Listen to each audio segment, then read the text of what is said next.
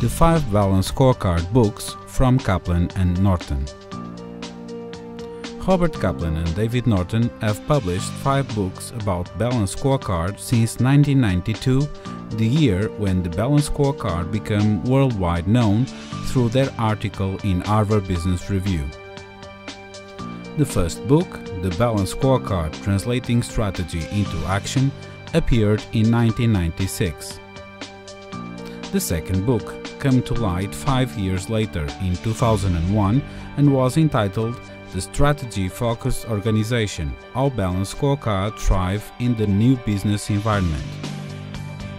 Three years later, in 2004, the authors published their third book about the Balance Scorecard Strategy Maps Converting Intangible Assets into Tangible Outcomes. The fourth book was published in 2006 with the title Alignment Using the Balance Scorecard to Create Corporate Synergies. The fifth and last book appeared two years later with the title The Execution Premium Linking Strategy to Operations for Competitive Advantage.